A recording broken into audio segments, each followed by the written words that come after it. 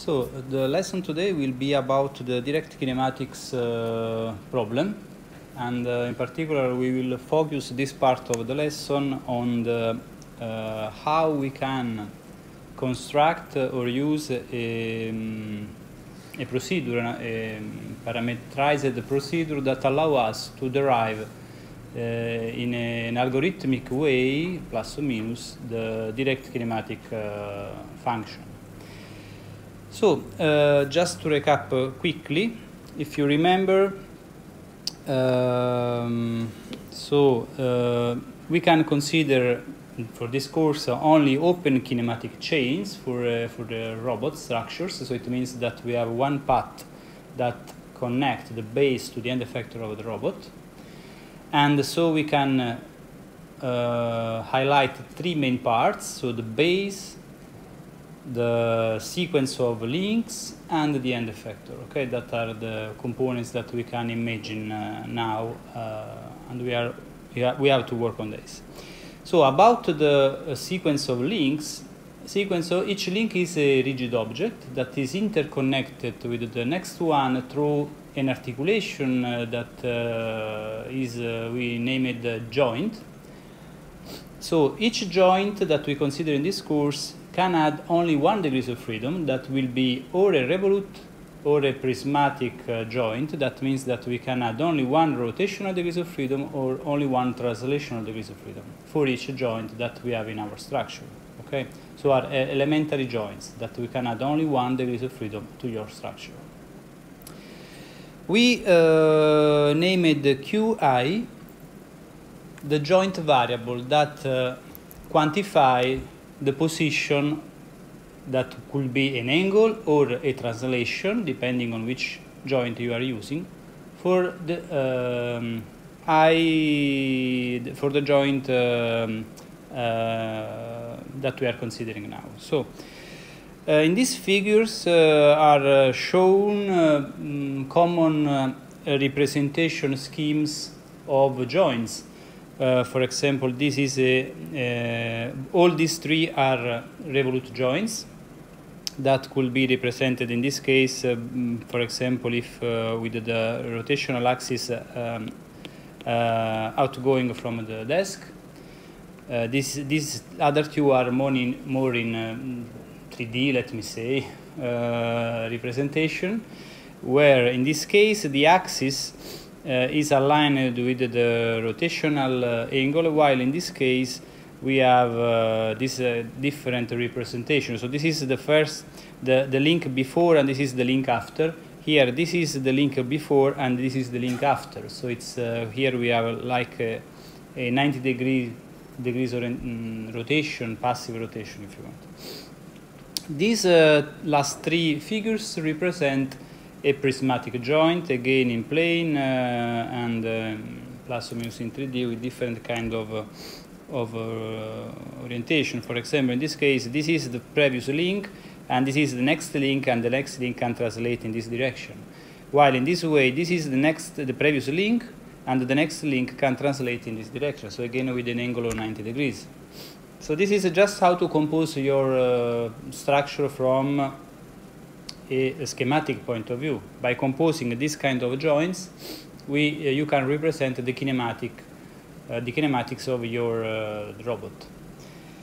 So the direct kinematics, uh, um, so the is uh, the problem of direct kinematics uh, mm, mainly consists in the um, in finding the pose, so position and orientation of the end effector represented with respect, so as a, a function of the joints variables. Okay, so we want to represent in a mathematical, from a mathematical point of view, a function that uh, represents the relationship between the position and orientation of the end effector and the, the, the joint variables.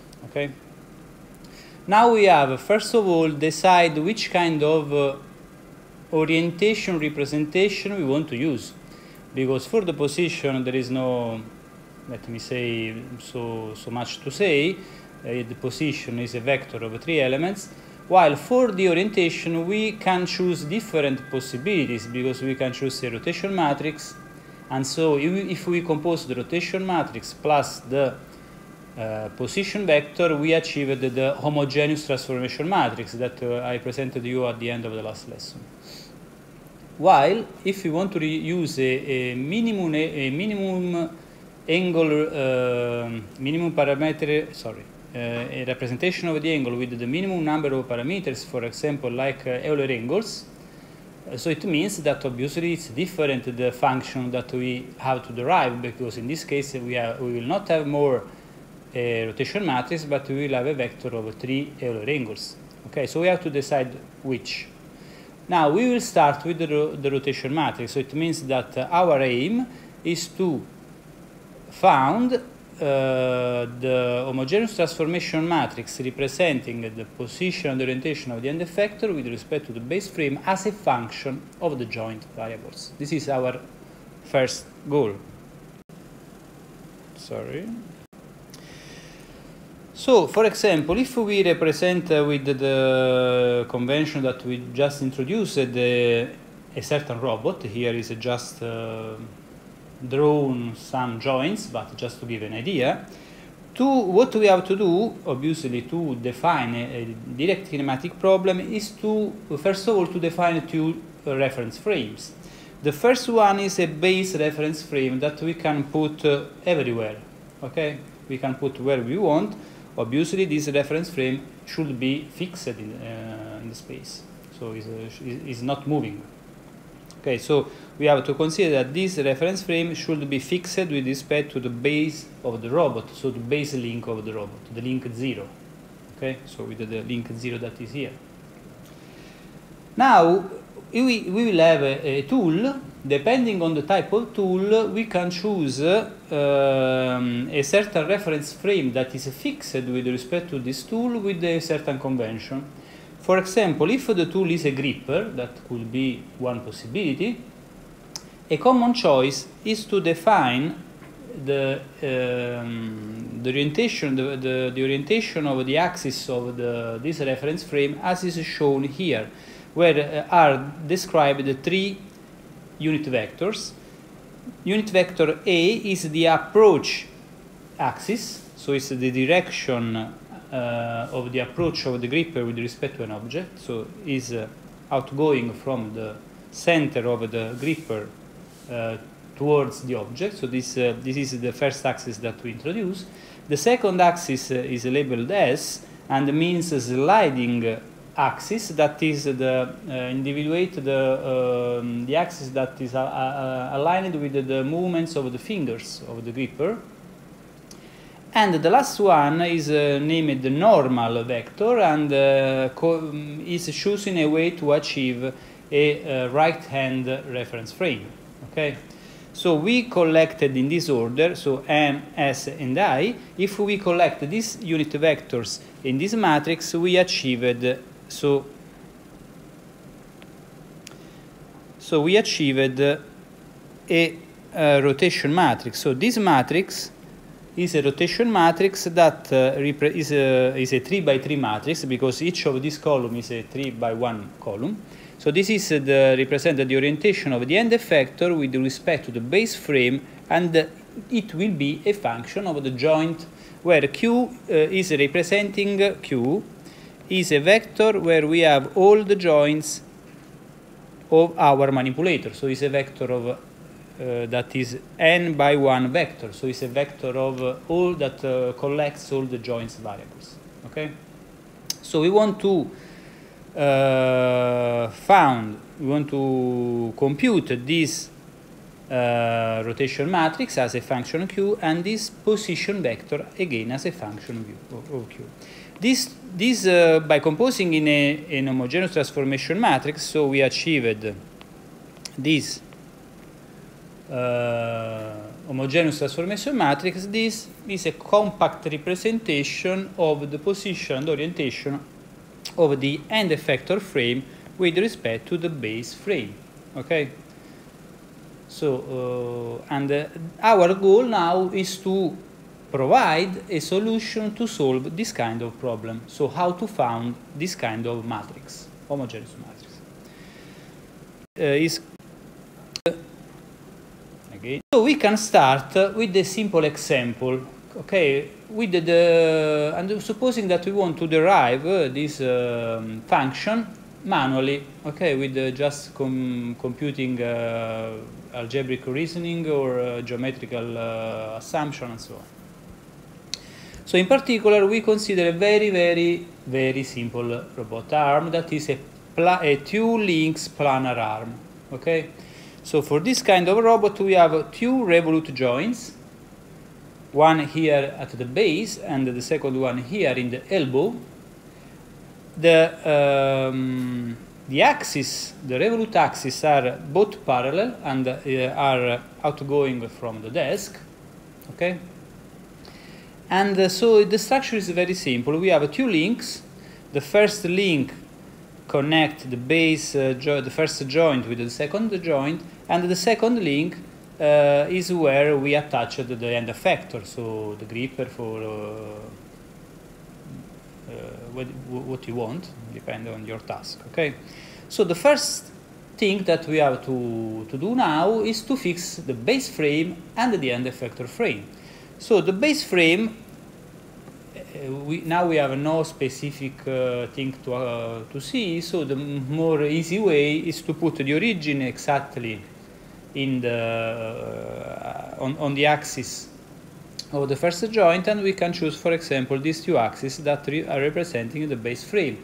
The, the, the obviously the, the zero, the zeta b um, axis is uh, outgoing uh, outside the, the desk. So now we have to fix another reference frame uh, fixed with the end effector in this case, as end effector, we suppose, for example, to have a grip, so we put the, the center of this reference frame in the center of the grip.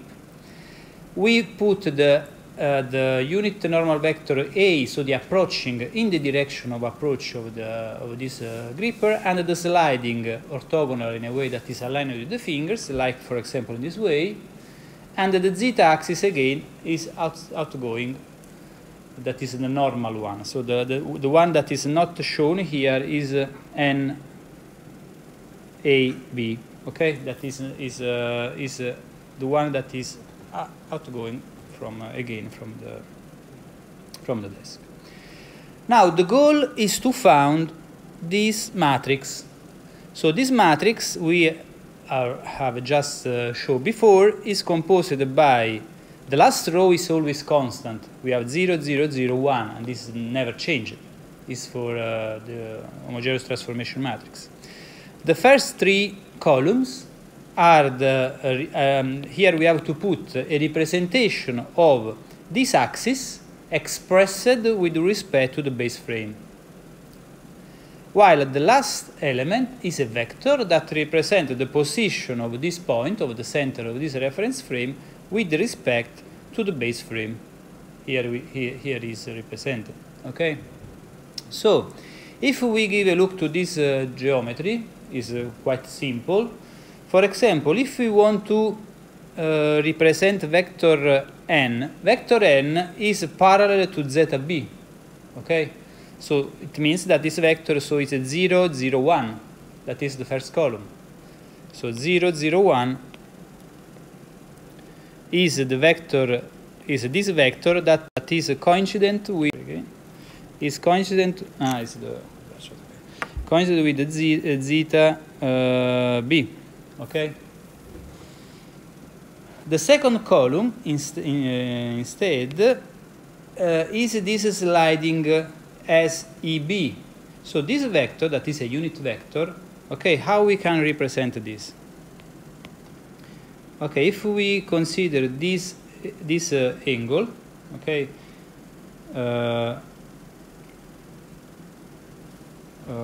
okay, give me a second. Okay, this angle is uh, equal to uh, theta one plus theta two. Okay, can you see? This angle with respect to the because we have theta one plus theta two, so the sum is this angle. Okay, so if we want to represent this, so it means that this angle here is equal to this angle here. So if we, if we give this representation, this, this angle here is equal to this angle here. So we can uh, easily uh, see at this point that this component, this, this uh, component of this vector, this one is equal to this quantity that is 1 because it's a unit normal vector for the, um, for the sine of this angle. So we have a sine 1 2 with the this symbol sine 1 2 we are it means uh, the sine of theta 1 plus theta 2 okay this is a compact representation this vector, this component here, is equal to this quantity that is 1 for the cosine of this angle, but with the minus because it's, uh, it's uh, looking downward. So we have minus cosine, cosine 1, 2, okay? And we have 0 because there is no component along the z-axis. Yes. Sine 1, 2 is sine theta 1 plus theta 2 or sine theta 1 plus sine theta 2? S1, 2 is sine of theta 1 plus theta 2. Okay, the same for cosine. Uh, so this is for the second vector, and, and, similarly for a, a this one, is this one, so we have in this case, uh, uh, this component is the cosine theta 1, theta 2, and this component vertical is the sine of theta 1, theta 2. Okay, so in this way we composed the, the rotation matrix that are the previous, the, the first three columns. The last one, the last column, should be the, this vector PEB. Now, how we can compose PEB? We have to found this is Px and this is Py. Okay, we have to we have to put this is Px and this is Py. Okay, P, P, uh, P zeta is zero because it's uh, all planar and uh, our reference frame is in the plane, so it's zero. So Px, we can compute Px by summing these, uh, by summing two quantities. We can sum first this uh, segment here. This segment here is A1 for the cosine of theta 1, so we have A1 for the cosine of theta 1. And then we have to uh, sum uh, this second quantity. This second quantity here so we have here theta 1. So this quantity is again A2 for the cosine of theta 1 plus theta 2 that we have here. Okay, in a similar way, this vector can be decomposed again in two parts, and we have again a1 sin 1 plus a2 sin 1 2. Okay, and the last term is 0. Okay, is it clear? So in this way you can see that for a very simple uh, robot manipulator uh, we was able to um, to uh, compute the direct kinematic uh, function because uh, now by using this uh, matrix, this homogeneous matrix, we are able to compute the position and the orientation of this end effector with respect to the base frame as a function of the joints variable. The joints variable in this case are two angles, are theta 1 and theta 2, that are the two angles that are uh, actuated by the two revolute joints in my uh, robot manipulator. Okay. Now you can see that even for this very simple manipulator, uh, we have to make some uh, don't say computation, but we have to spend some time to, to found the right uh, equations, okay? If we consider a 6 degrees of freedom manipulator with the complex structures, this procedure is theoretically possible, but becomes more and more complex. So we want to avoid to do this this way. We want to create a procedure, okay? To introduce a procedure, we need to introduce some conventions. Because if you want to apply an algorithm, you need to uh, put your algorithm over a standard convention. So, the convention that I will uh, propose you is not you the only one. Uh, there are several possibilities. Uh, this is quite famous. Is the Denavit-Hartenberg convention, DH convention. So in this case, um, supposing, for example, that we have a manipulator with n joints, if we have n joints means that we have n plus 1 links that connect n joints. Okay? The first link, that is the link 0, is the, fi the fixed one with respect to the ground, uh, with respect to the floor. The last one, link uh, number n, is the one fixed with the tool, with the end effector. Okay?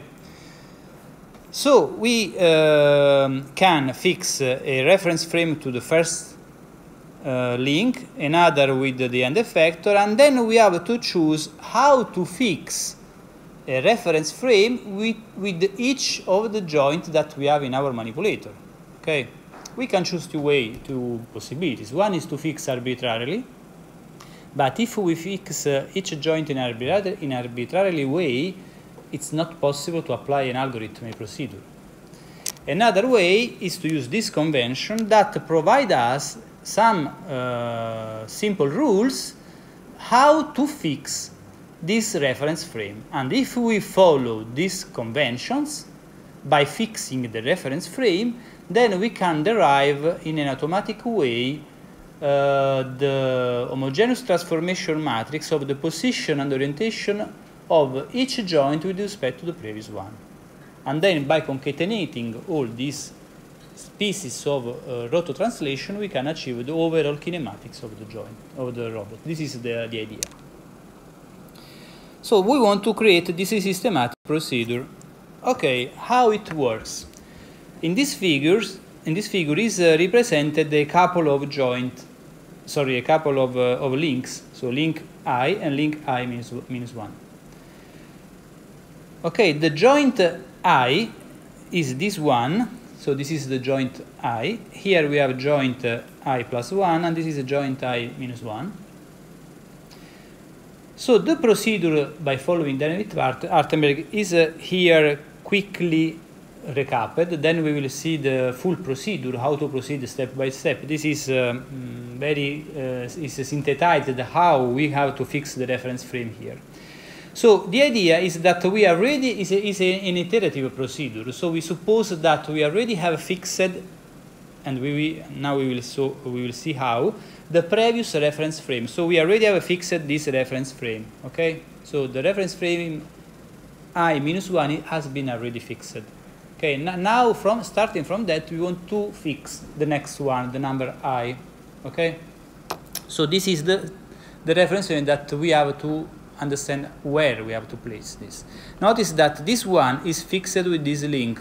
This one, that is i minus 1, is fixed with this link. So this link uh, that is the rigid uh, representation is a representation of the physical link and this reference frame uh, are fixed one with respect to each other. Okay it's uh, completely uh, fixed. So the first uh, thing the first operation that we have to, to do is to fix the axis zeta i along the axis of the joint i plus 1, so the next joint. So this is the joint that we are considering. The next joint is here, okay? We are, and you can see here, these are the axes of the joints. So the, if you have revolute joints, these axes are the axes about you perform the rotation. If instead you have uh, prismatic joints, these joints represent, are representing the direction where you can move with your prismatic joint, okay? So these uh, joint, these lines these uh, straightforward lines are mechanically described because are corresponding your, me your mechanical joints. So are fixed because it's not our choice. It's depend on, dep are depending on your robot. So we fix the uh, axis zeta i aligned with this axis. That is the axis of a joint i plus 1. Okay?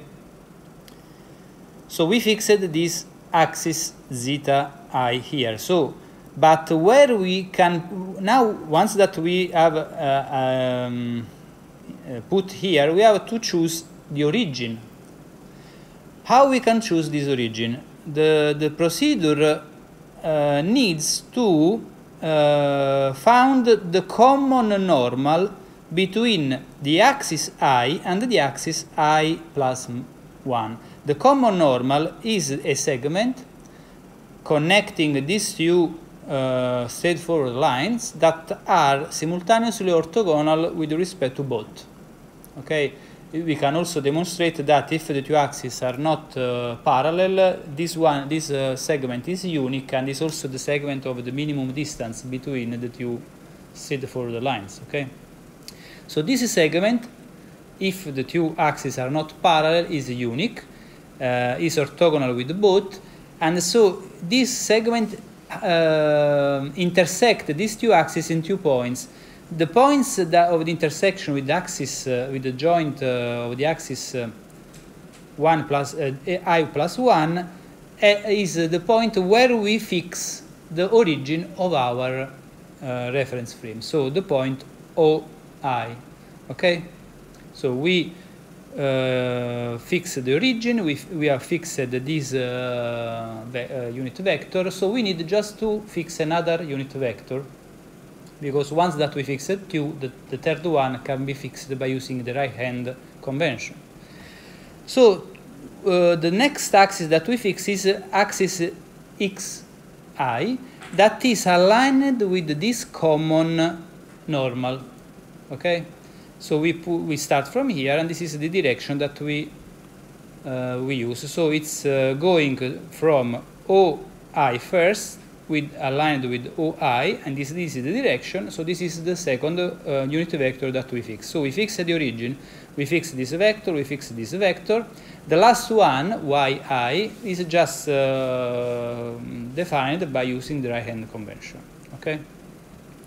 So in this way, it's possible to fix this reference frame. Once that we have fixed this reference frame, obviously we can fix the next one in an iterative way. So it's now is starting from here, we can fix the next one uh, and so on.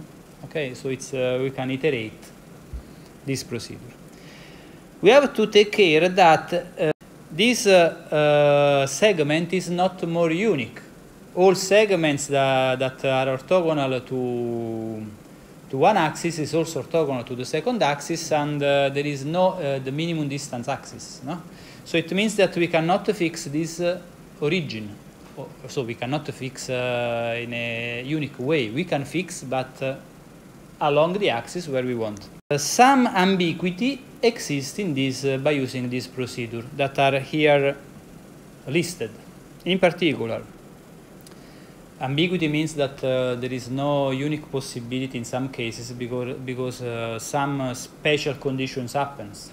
For example, for frame 0, that is the first one, so it means that we have no a previous one to use, it means that in this case only the direction of axis zeta 0 it can be specified because this axis is the physical axis of the first join.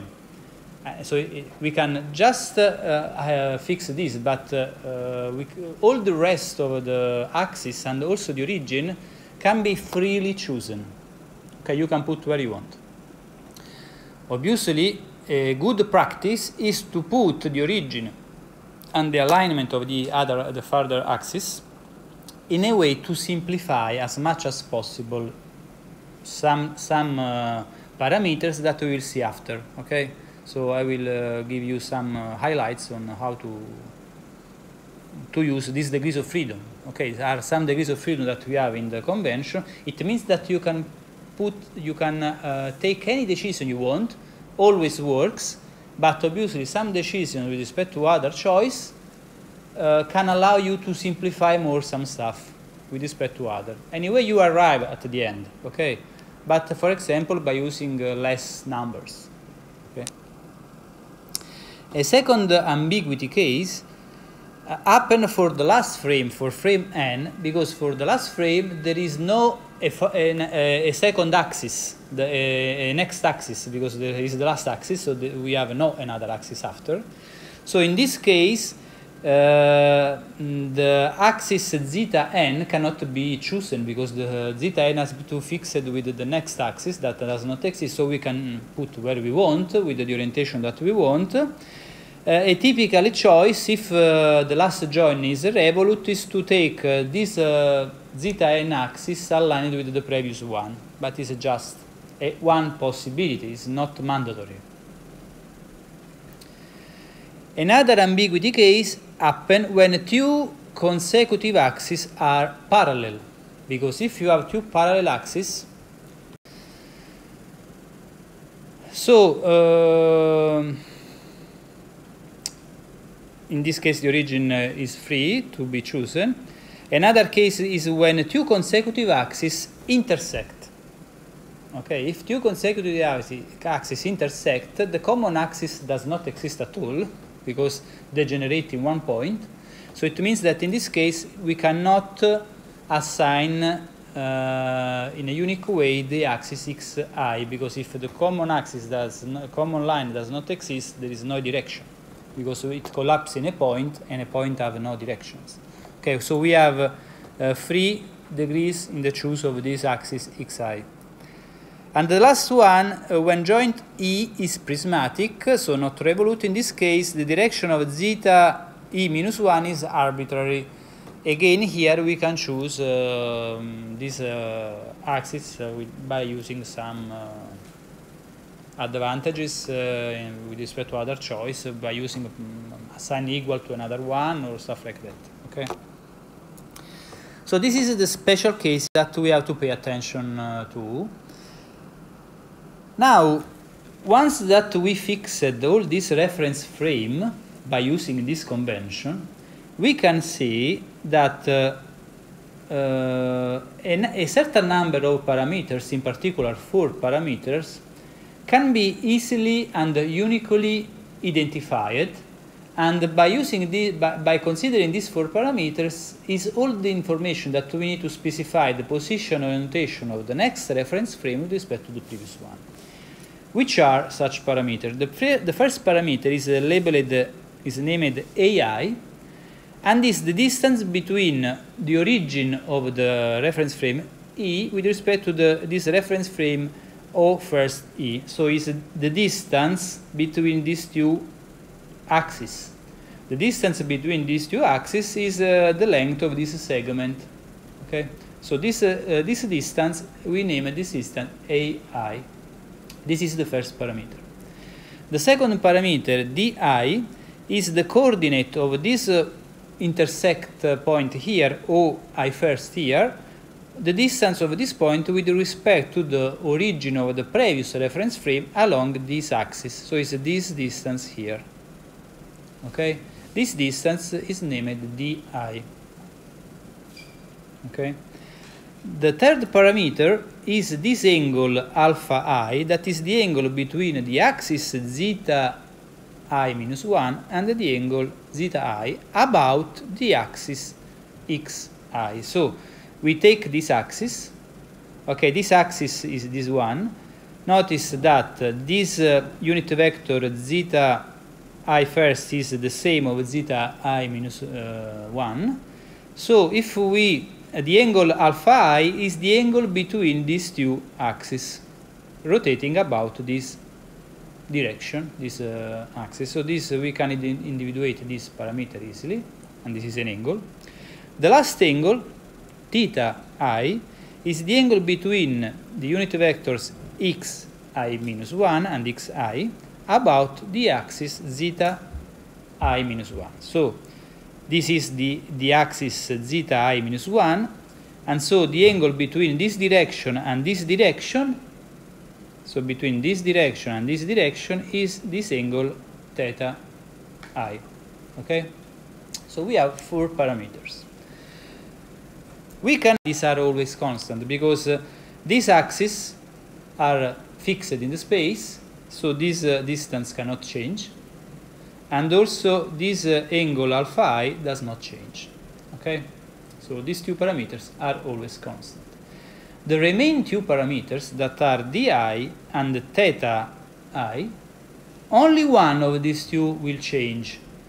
If this axis is about of a revolute joint, means that we rotate, we can rotate about this link can rotate about this axis with respect to this one, means that we are the uh, we are varying this angle theta theta i while di is constant. Instead, if this joint is a prismatic joint, means that this link can translate with respect to this along this axis So it means that the theta remain constant and di will be variable. Okay, because uh, in our convention, our joints, only one degrees of freedom will uh, be uh, furnished to the structure. Okay, so at the end, two are always constant. The other two, one is constant, another is uh, the, the joint variable, and depending on the type of joint that we are considering. Okay. Two is to found the position and orientation of a joint uh, of the reference frame i with respect to reference frame i minus 1. Okay, we want to compute the homogeneous transformation matrix between these two reference frames. Okay, that uh, has been fixed by using the Denavit-Hartenberg convention. Okay, now instead to compute directly this transformation, we compute the first transformation between this reference frame and this one, and then from this one to this second one. Then we can uh, uh,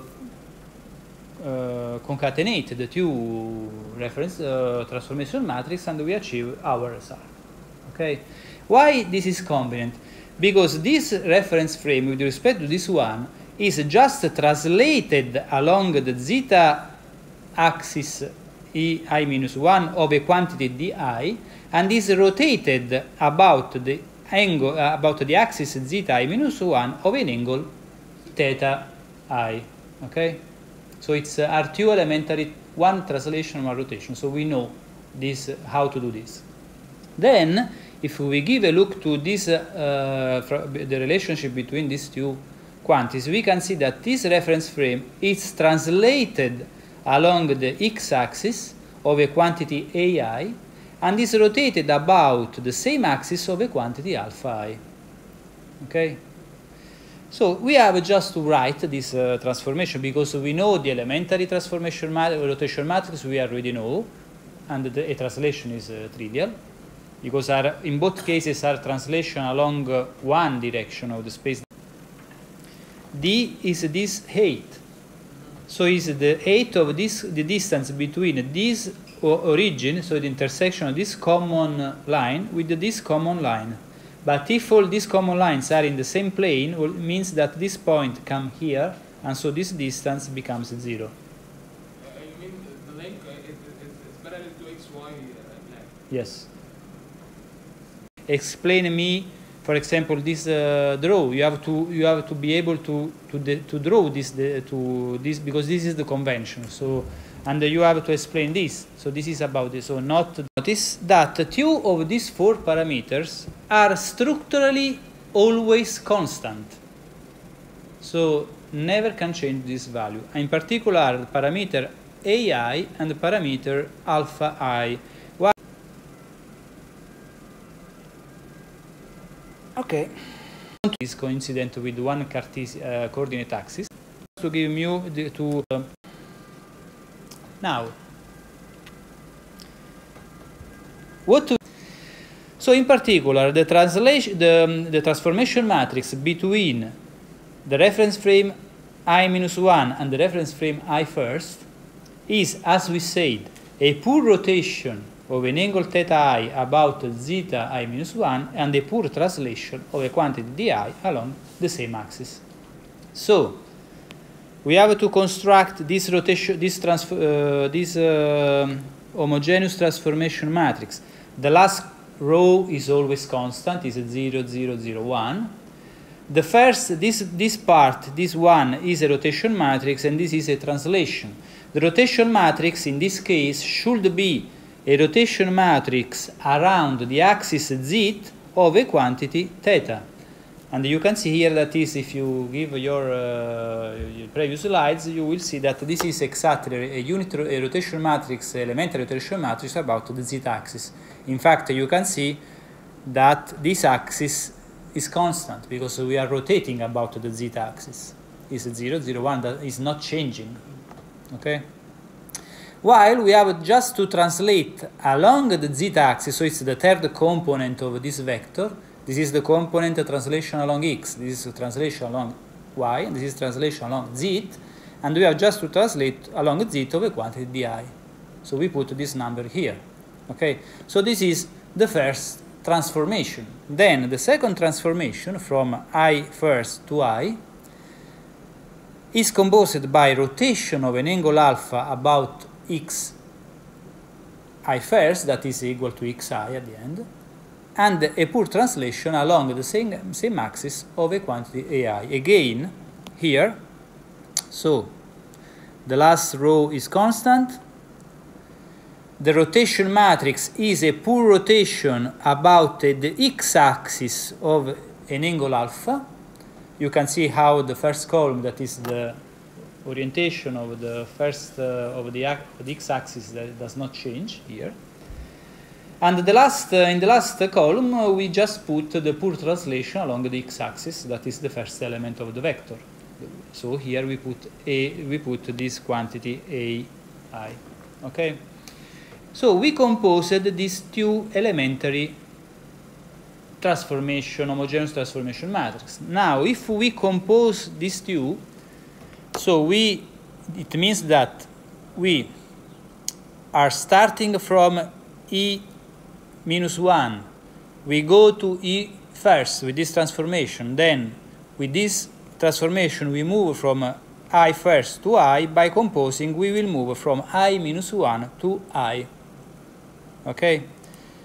So by multiplying this matrix on the right side by this matrix, we achieved this homogeneous transformation matrix. Okay? Notice that this matrix, in this matrix, this matrix is a function of four parameters that are theta and alpha, two angles, and uh, and di that are two uh, displacement, two distances. Okay.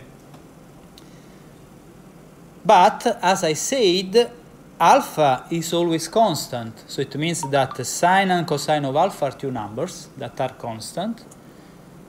Uh, where is uh, a also is uh, always constant, so again here we have two numbers, and only one among d and theta is a variable. The other one again is a constant. So we can we have just to replace all these constant numbers here, and we have to leave to leave only the degrees of freedom of the joint. That is the variable here called qi. That qi will be one of these two. Okay, so it means that all this matrix becomes a function of only one variable. Okay. Now, we know how to fix reference frame on each link. We know how to compute the translation and the, uh, the roto translation of each link with respect to the previous one. Here, this procedure. But you have to know because also to, to make the elaborate, you have to apply this procedure at the end anyway. So, for example, I can ask you to uh, produce uh, not uh, all the computation, but now we can compose each this uh, sequence of uh, translations starting from the joint 0 we move to 1 and we compute this homogeneous transformation matrix then we compute the homogeneous transformation matrix between 1 and 2 and so on up to n minus 1 n we compose in this way the, the, the, transformation matrix. So we move from 0 to 1, from 1 to 2, etc., up to n. So this composition, that is a composition of 4 by 4 matrix, by multiplying at the end we achieve again a 4 by 4 matrix. That is what we are looking for, that is the translation and orientation of the reference frame fixed with the last link with respect to the reference frame fixed with the base zero link. Okay. Now, in some cases, to be more general, the link zero that is uh, uh, put there with the Denavit-Hartenberg convention could be different with respect to what we need as a base frame. Because, for example, this is our robot, but for some reason I want to put the base frame there. Okay, it's clear that the, the base frame, the zero link is fixed with the desk, and so this means that this reference frame is fixed with respect to the base frame that I want. So I have just to add on the left side here a constant homogeneous transformation matrix that is the, the, that represents the position of this link 0 with respect to the base frame that I want to choose where I want. Okay, I can put where we want. If, this, if these uh, 0 and b are coincident, this disappears because it becomes just the identity matrix. Okay. In the same way, the link n, so the reference frame n, is a result of the Denavit-Hartenberg, but could be, for example, different with respect to some uh, reference frame that I need with the tool. For example, here I can put a gripper, then I can put uh, a welding uh, uh, arc system. So I want to put the origin in a different position, the axis oriented in a different position. So what I can do is just to add again another constant uh, transformation matrix that uh, is the relation between the link n of the Denavit-Hartenberg convention and the link e that is of my tool where I want to put for some reason the reference frame. Okay? By, con by composing this transformation at the end, again we have a function of the joint variables. Notice that each, ma uh, mat uh, each matrix here had a variable that is q1, q2 up to qn. All uh, these numbers will be collected in this vector q, that is the vector of the joint variables. Okay, so this is a matrix function of a vector q that is the uh, the vector of the joint variables.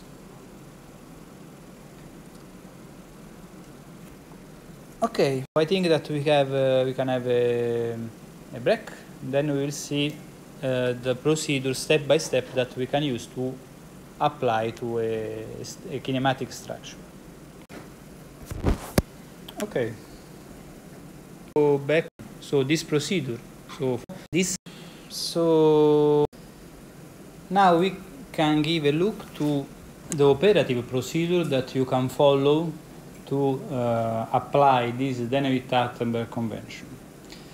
So the first step is to find and to number consecutively the joint axes. And this is quite easy because the joint axes are the mechanical joints of your system and so it's uh, a, a procedure quite uh, easy.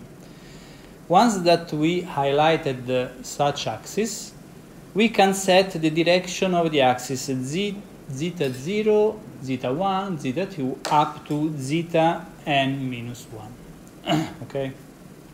So zeta 0 is aligned with the first join, zeta 1 with the second, the last one, zeta n minus 1, is aligned with the joint number n. Okay? And this is always be possible because are uh, physical directions in the space uh, of your robot. Then we choose frame 0, that is the first one, by locating the origin on the axis zeta 0 where you want. Okay? So we have we fix the origin zeta 0, we have also to fix the so the direction we have also to fix the origin. We can put where we want over this axis typically is better if we can put this origin in a way to align with other reference frame, in a way to avoid, uh, that, in a way to uh, achieve some parameters of the Hartenberg uh, that will become zero, for example, if we align some axes, if we have this degrees of freedom.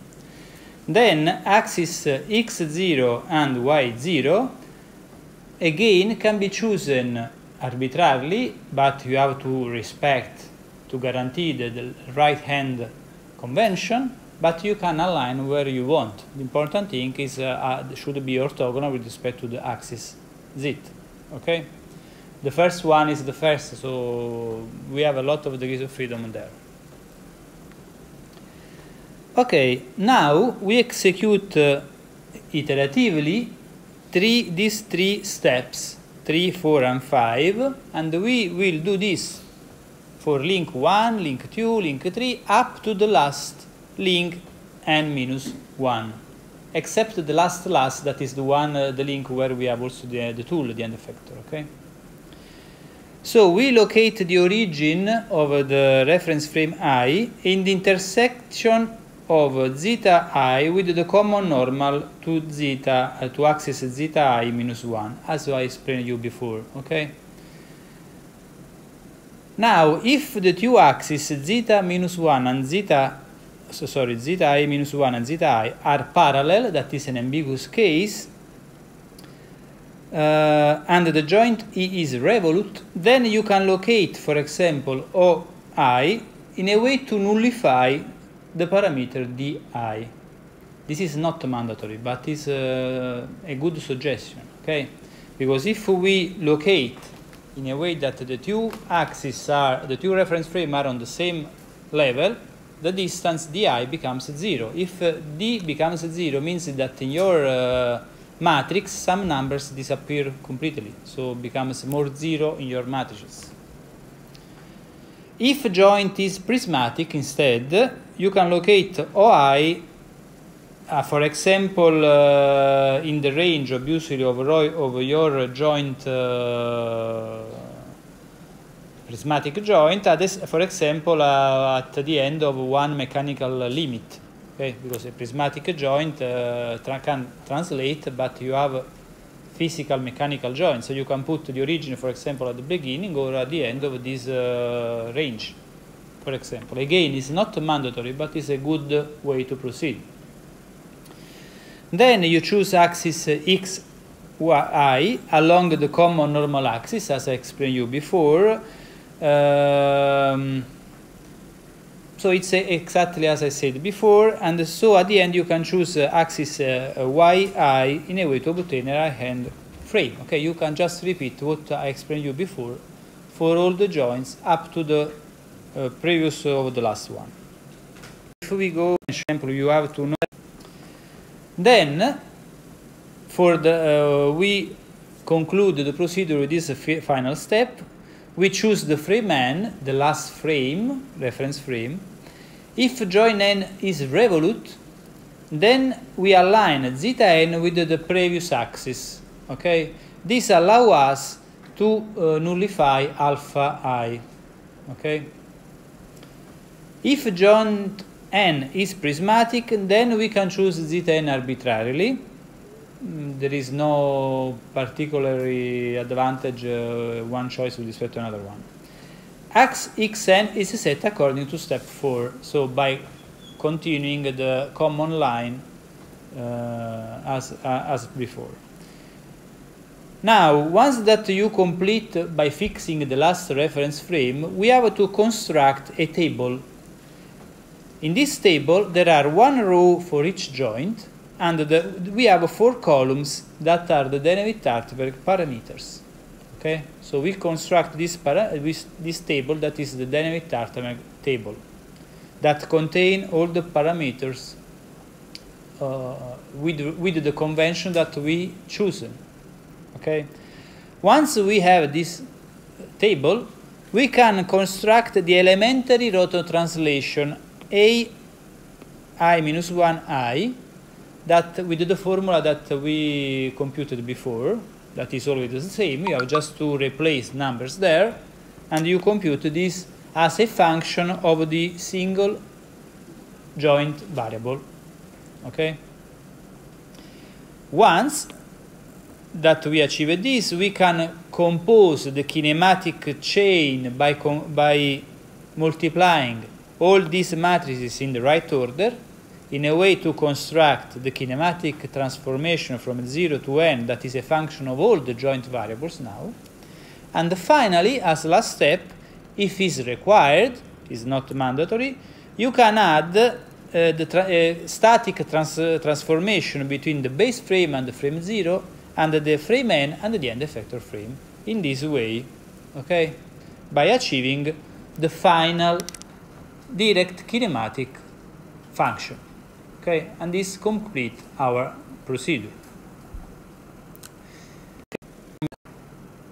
Now we can see some examples for some uh, uh, structures in a way that we can try to familiarize with this kind of problem. Now we start, for example, for a three-link planar robot arm.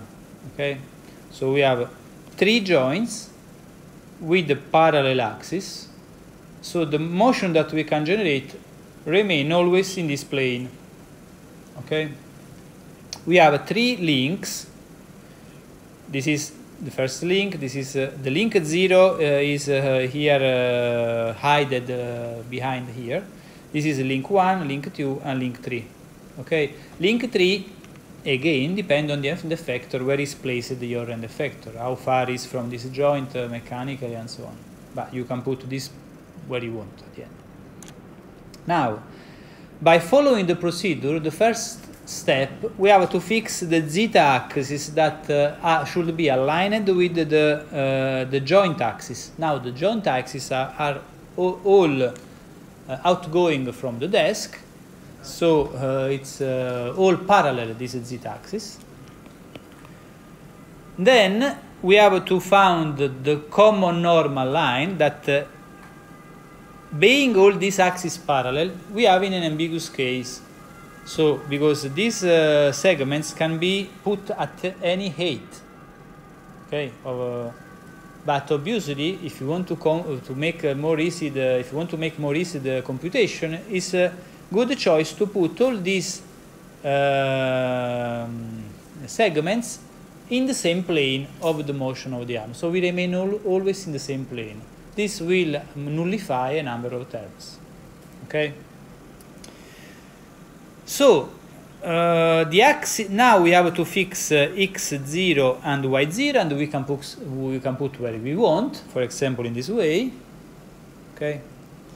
How we have to fix? For example, if the manipulator works on this desk, these two lines could be good choice, for example, because mechanically correspond to some, some borders in our uh, desk, for example. Then we have to fix uh, the uh, axis uh, x1, that is uh, the aligned with this uh, common normal, axis x2 that is aligned with this normal, uh, no, um, common normal, and the last one again that is aligned with this uh, segment and we fix x3. So we fixed x, y, and z for all, because the y-axis uh, you can achieve it with the right-hand convention. The origin are always in the same plane, because we say that all these segments are in the same plane, so we fixed all the reference frame for this simple manipulator. Now, if we have to build this matrix, so we have one row for each joint, or for each link if you want, and four columns with the parameters.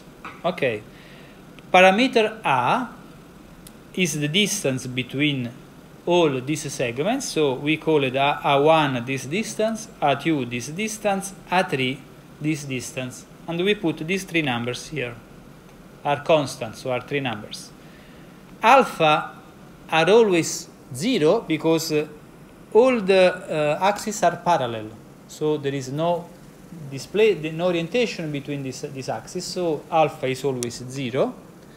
D is zero because we chosen all the origin in the same plane. If we put, for example, this reference frame one meter height and the next one one meter back, we should put here 1 and minus 1, but are not useful to do this. So if we want to nullify some numbers here is the good choice. Okay?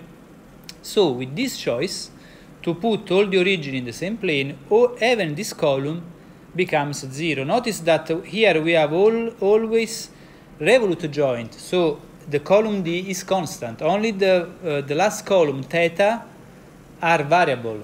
So here we, we cannot put a number, we can just put a variable, theta 1, theta 2, and theta 3, that will correspond to Q1, Q2, and Q3, because all are revolute joints. Okay, so here we have three numbers, here we have 3, 0, 3, 0, and here we have three variables. D? Okay, so it's very easy to compute this table. Now we can notice that all rows are similar. Okay, so it means that the transformation matrix that we have to compute from uh, link 0 to link 1, from link 1 to link 2, and from link 2 to link 3 uh, have the same structure. The only uh, only part that change are the number that we have to put instead of this symbol and the value of the variable. if I come back here, it's clear that the angle of this x3 axis with respect to x0 axis, this angle is equal to theta 1, theta 2, and theta 3. It's very easy to see, no? And this is a pure rotation about a zeta axis. And this is the sum of this quantity. So is the sum of this, this uh, quantity plus the sum of this quantity plus the sum of this quantity. That so it means that the three matrices becomes always equal and uh, this is the structure that we achieved by putting uh, alpha and d all equal to 0. So you can see that uh, all matrices correspond to a rotation about a zeta axis and uh, and that's all it's a rotation about a zeta axis at the end so by multiplying all these three matrices for, by putting here 1 2 and 3 we achieve three matrices. We multiply these three matrices in this order and we achieve this transformation. Okay, this transformation is the is uh, the transformation matrix, the homogeneous transformation matrix that can now to describe the orientation position of reference frame number 3 with respect to reference frame number 0. Okay, you can see here that if we split this, the last row obviously is equal we can recognize that this matrix is a rotation matrix that is a pure rotation about a zeta axis of a quantity theta 1 plus theta 2 plus theta 3. It's easy to recognize. In fact, what we achieved here.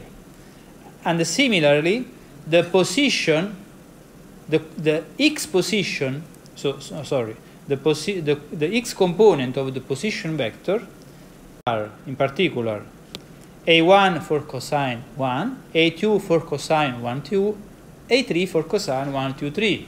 You can see that you can add the number of links as you want. It's very easy to extend this, for, this uh, representation. No? It's very easy. But this is a very easy manipulator anyway. Okay?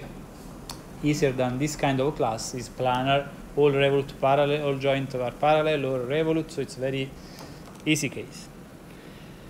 Now we can move or a more complex structure. Okay, in this case we are considering a spherical robot arm. Okay, that, uh, here in this uh, figure is represented a spherical robot arm. A spherical robot arm is composed by two revolute joints and one prismatic joint. Okay, this is a, a spherical arm. Now we have to apply our convention. Okay, so we have to fix the reference frame 0. Okay, so the first step is to fix the axis, to highlight the axis. So this is the first axis, okay? And along this axis we have to put the, the zeta 0. Okay, so zeta 0 is aligned with this axis. Then we have to uh, highlight the second axis. This is the second axis. That is the axis about the, that is the rotation about of the, the link 1 and we have to put 0 1 the zeta 1 sorry along this uh, direction. And this is then the, uh, the, this prismatic joint generates motion along this axis. So this is axis 3 and we have to put zeta 2 along this axis. Okay so we fixed zeta 0 zeta 1 and zeta 2 the last one should be fixed at the end of the procedure. Okay so zeta 3 is zeta n okay? Is at the end. So now we have to fix the origin and the axis of the zeta the z uh, the, um, the reference frame 0 okay we can put the origin where we want along this axis the choice that has been made here is to put the origin here in this intersection of this axis because this allows us to nullify d0 for example. Okay? And probably also alpha a0 probably in this case by putting an intersection we nullify simultaneously a0 and d0 okay? So we put the origin here. So this is the origin. This, this is o0 this is zeta 0 x0 could be aligned uh, where we want. Okay, so we can put, uh, depending on the desk that we have, we can put the orientation where that we desire. Now, to fix uh, x1, we have an ambiguity here. There is an ambiguity because uh, we, we have two axes that are intersecting one with each other. So we can choose this uh, x1 as we want. So we choose this axis aligned with the first, the previous uh, axis uh, in this. Sorry. Aligned with x0.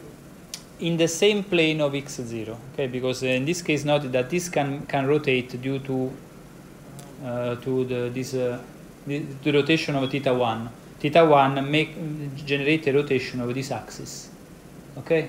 But if theta 1, for example, could be 0, this is aligned with, the zeta, with x0, for example. So by putting some alignments, if we have these degrees of freedom, we reduce the number of parameters in the Denavit-Hartenberg table.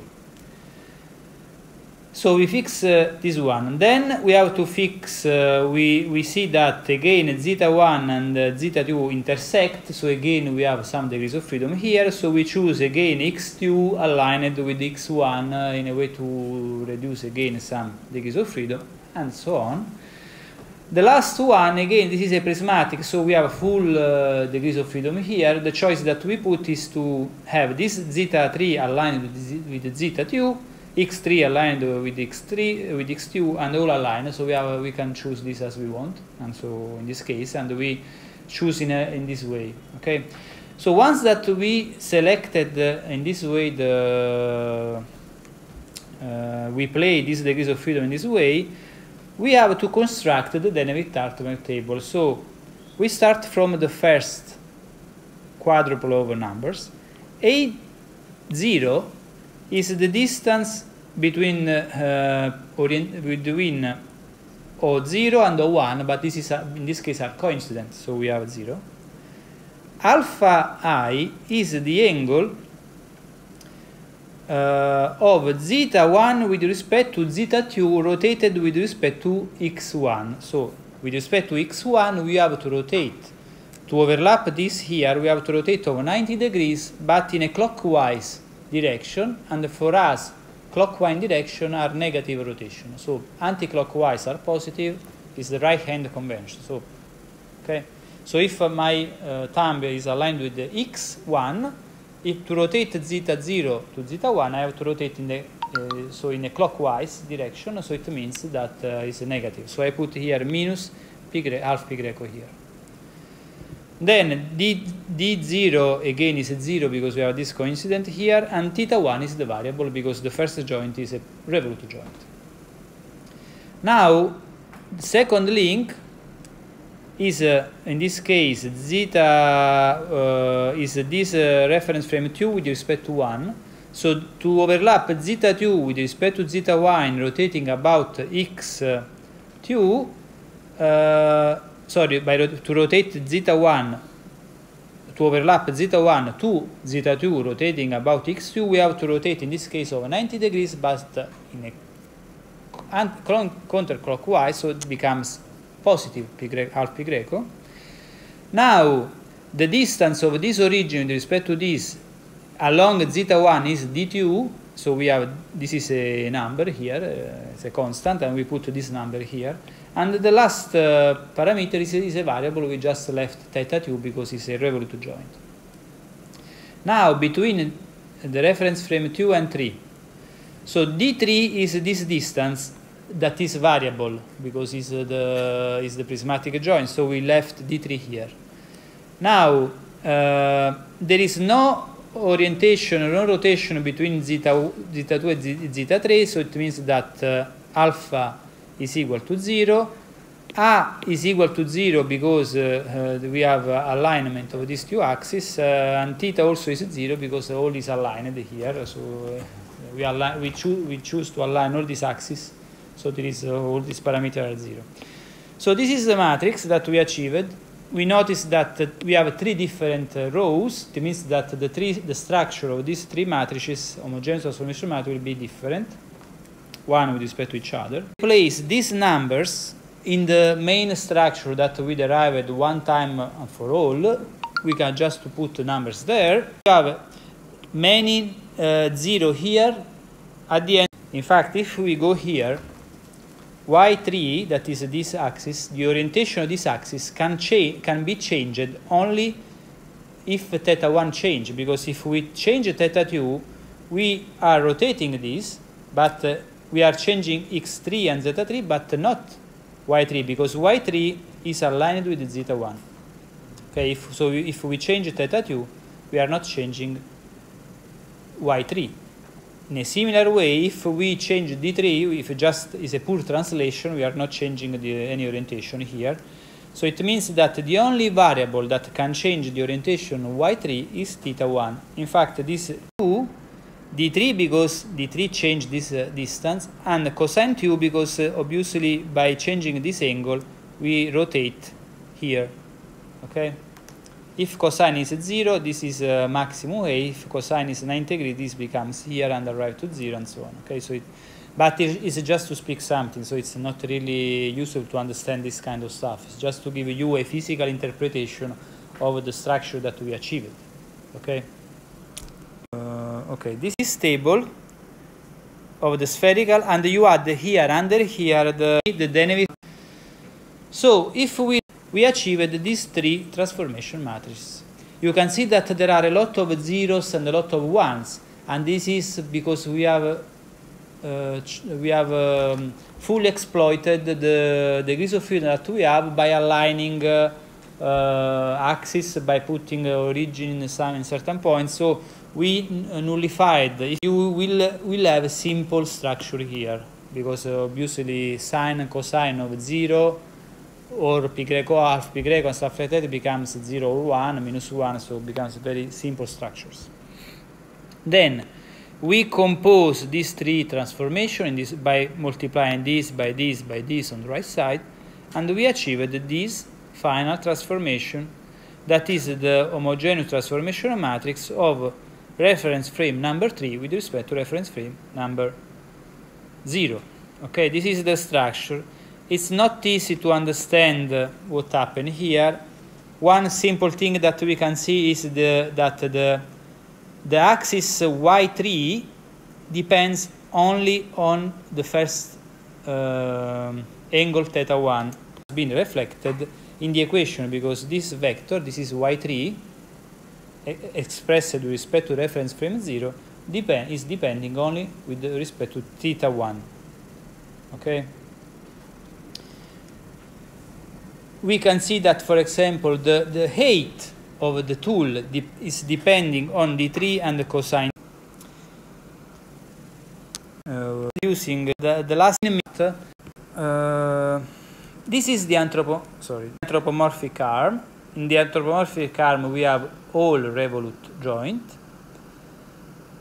but from the first and the second one, we, we have a 90 degrees of uh, orientation, and while the last two are parallel axis. Okay, so first of all, we have to highlight the axis. This is the first axis, and we put zeta 0 aligned here. This is the second axis, and we put zeta 1 aligned here. This is the third axis, and we put zeta 2 aligned here. Zeta 1 and zeta 2 are parallel. Now, we have to put the origin of the, z, uh, the reference 0 along this axis. We choose to put here in the intersection of this axis again because we nullify some numbers. Then uh, we have some degrees of freedom here. We can put x0 and y0 where we want, uh, compatible in a compatible way with this axis zeta 0. Then we have to choose the x1 and the uh, x1 should be orthogonal to zeta 1. Again, we have intersection here, so we have degrees of freedom. We choose, for example, this x1 parallel to the floor. That could be one choice, for example.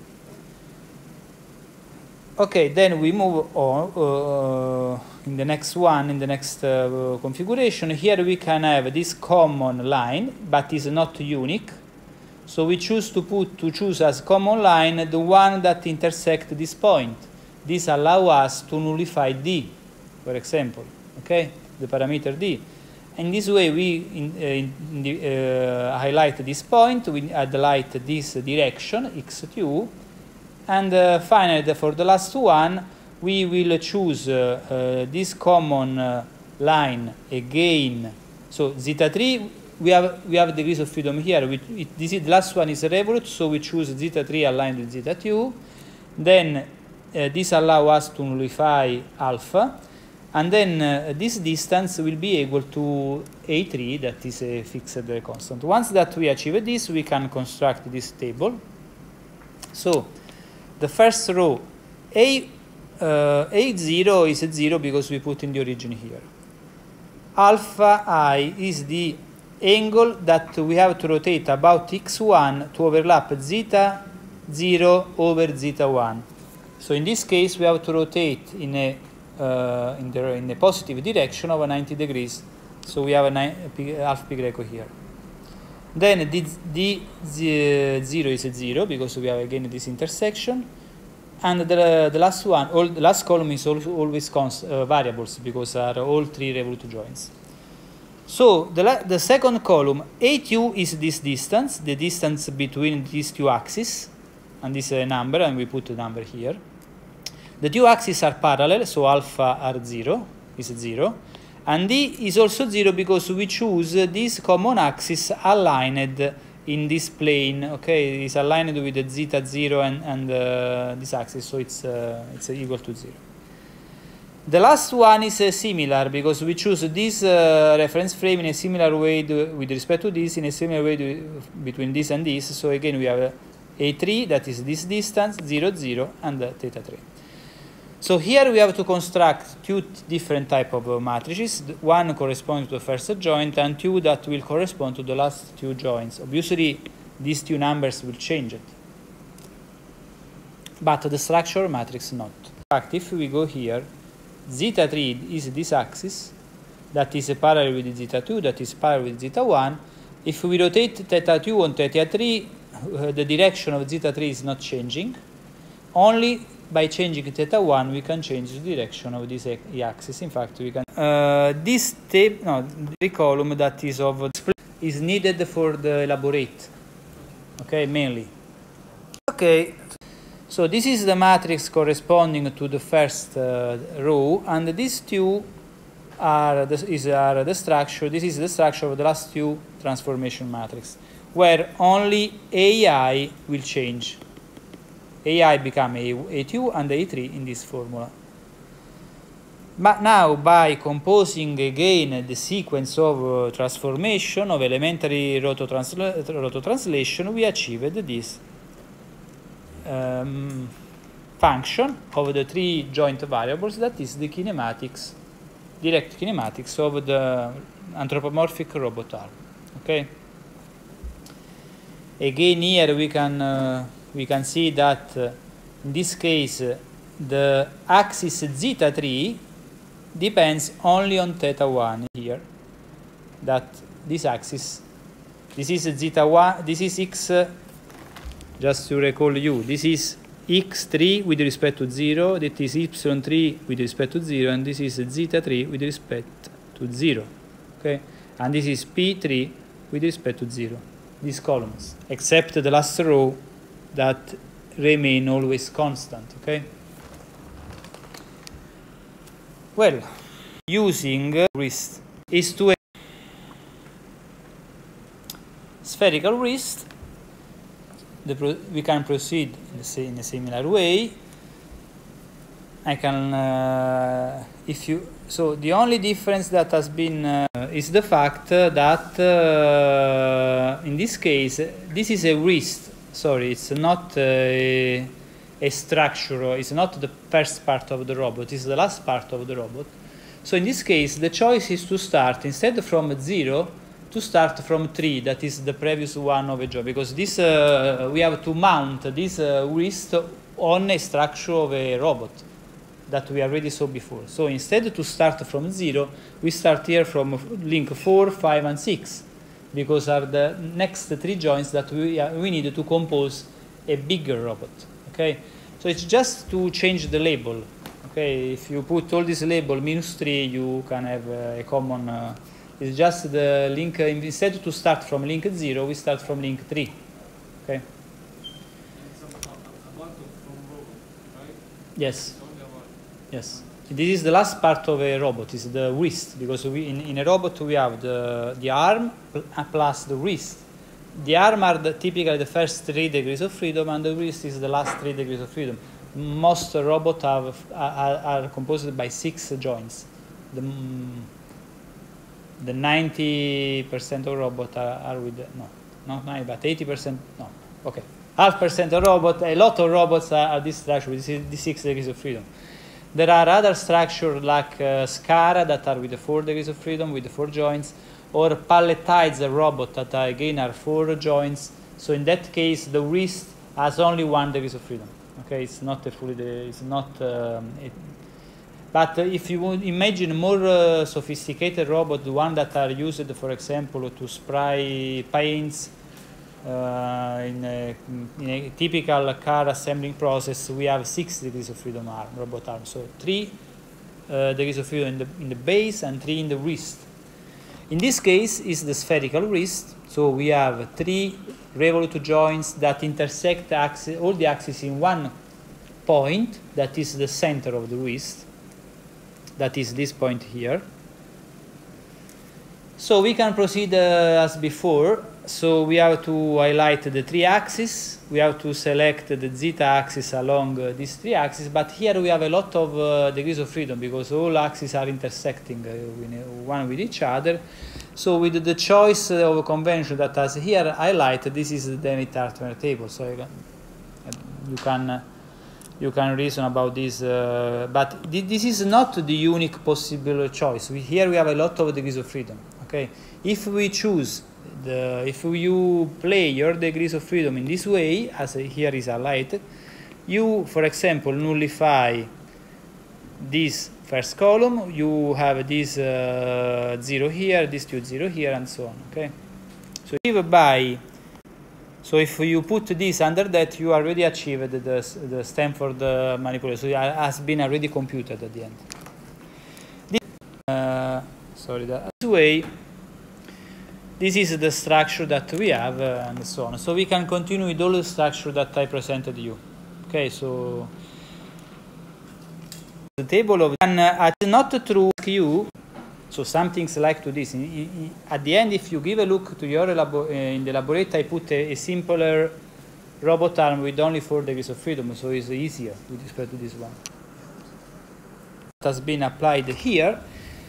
Sorry, I can assign as exercise for you, if you want to complete the course obviously, to derive the full uh, direct kinematic of the Stanford manipulator. The Stanford manipulator is composed by the spherical one, that is the one that uh, we sh I showed you before, plus the spherical wrist that I, I, just showed you. So by composing this structure, we have this Stanford manipulator So the elementary matrices in a symbolic way, and then you put uh, with the symbolic toolbox the MATLAB, and it compu compute for you all the I, the Denavit-Hartenberg table, so you have to compute first the Denavit-Hartenberg table. Here is missed the, the table. The table is missed because one. You instead for uh, here there is also the result. Okay, now the matrix becomes very big, so I decomposed the matrix by each column. So this is the first column, this is the second column, this is the third column, and this is the last column, okay? Because it becomes very big. You can do this computation also by using a MATLAB if you want. If you are some familiarities with the MATLAB, you can build numbers. To give you an idea, okay. here is a missed the because uh, anthropomorphic car. Example, what the, uh, here this is the anthropomorphic uh, arm, that is the anthropomorphic structure that we already saw, plus the spherical wrist again. This is the Denavit-Hartenberg table. Starting with this Denavit-Hartenberg table, again, you can compute the six transformation matrix elementary. You have to make the product of all these six matrices, because for the anthropomorphic arm, the last, uh, the, the, um, the, the reference frame number three is not coherent with the number t of the spherical wrist. So in this case, you have to compute manually this last part, okay? It, change this part here. Further questions? And at the end, you will achieve this uh, uh, transformation matrix. Ah, and this is why here are uh, highlighted these uh, two matrices because are different with respect to the matrices that we already computed before. Okay, all the rest of matrices are the same, are been already computed. So we can stop the lesson here. It's a quite rich lesson, a lot of numbers, uh, and so uh, we, can conclude here. I don't know if there are questions. Uh, excuse me, now for the exam, like uh, theoretical exam, so what's going to be the nature? Like, is it going to be more of us uh, trying to give us a Okay, for the for the examination, if you go on the channel of the course, there are in the file section there are uh, some materials. There are these uh, such slides. There is also the uh, the elaborate that you have to produce for the examination is, is already there. So there is the elaborate. So the elaborate is made of some points. You, you have to respond in uh, to all that point. Then you send me this elaborate before the oral examination and uh, I will uh, use that to have a starting point, let me say starting uh, point for the discussion and also for the evaluation. And then during the, the examination, I will pro provide you two or three questions that are about uh, what I'm showing you. Obviously, I'm not saying that uh, I will ask to write this. Okay? so, I, I, it's impossible also for anyone to, uh, to write this. But for ex- just I, I conclude.